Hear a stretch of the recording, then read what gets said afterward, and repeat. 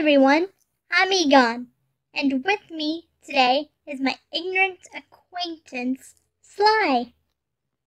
Hey, I thought you promised to call me your friend from now on. And where's your glasses? My bad, Sly. And my glasses broke after the filming of our last episode. Remember? I don't remember. Remind me again? ignorant fox. Oh, I remember now. My bad. It's fine, Sly. I got contacts in. Are you sure? Not right now, Sly. So you don't have them in? Of course I have them in. How many fingers am I holding up? Really, Sly?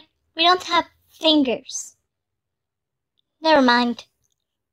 Let's get to telling everybody our New Year's resolutions, shall we? Oh, all right. Good.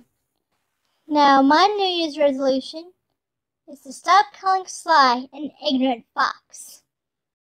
Finally. What was that, Sly? Oh, nothing.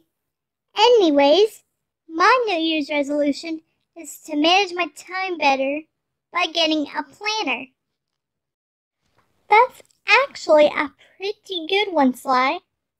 Well, looks like we are running short on time. So we'll see you in 2019. Bye. Before we go, we have one more thing to say. I hope you all stay safe and out of trouble. And Happy New Year! Early. That's my line, you ignorant fox.